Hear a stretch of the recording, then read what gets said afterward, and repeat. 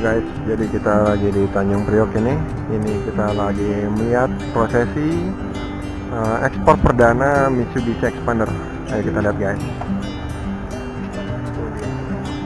Nah, rame banget nih wartawan yang meliput nih. Wah, ada Pak Presiden guys. Itu Pak Presiden guys.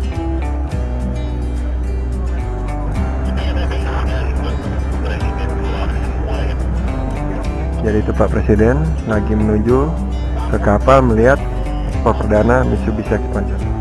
Mitsubishi Expander yang akan diekspor tuh guys.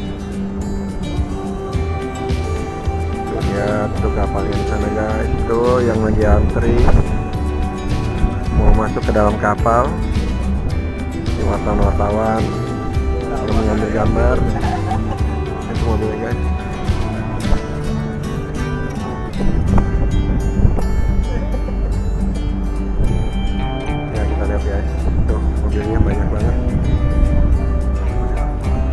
Jadi oke guys. Kita lagi di Tanjung Priok. Lagi melihat prosesi perdana eh, ekspor. Mitsubishi Expander nah, seperti anda lihat di belakang saya ini.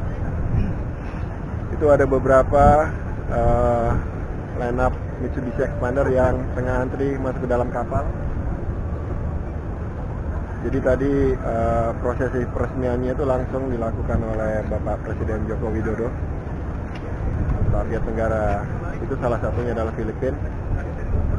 Oke, semoga upaya dari pihak Mitsubishi Indonesia ini untuk mengekspor salah satu mobil kan terbaiknya ini berjalan dengan baik. Karena itu juga eh, memberikan kontribusi untuk eh, hal baik ya. Salah satunya adalah peningkatan sumber daya kerja yang dibutuhkan di pabriknya.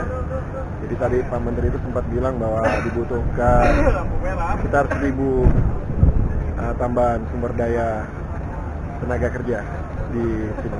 Oke, demikian dulu guys laporan dari kanal vlog Seri Journey. Jangan lupa untuk like, komen, uh, subscribe, dan share video ini. Sampai ketemu di vlog dari Journey.